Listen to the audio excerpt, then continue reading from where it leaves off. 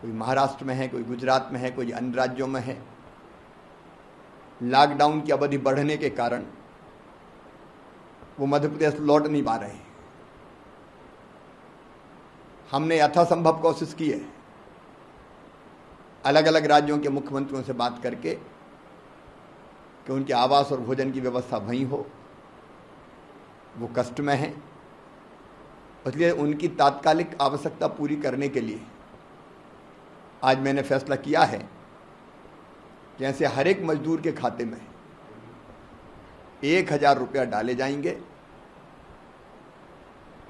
हम यहाँ पैसा डालेंगे उनके खाते में और वो जहाँ है, वहाँ से ये पैसा निकाल सकेंगे।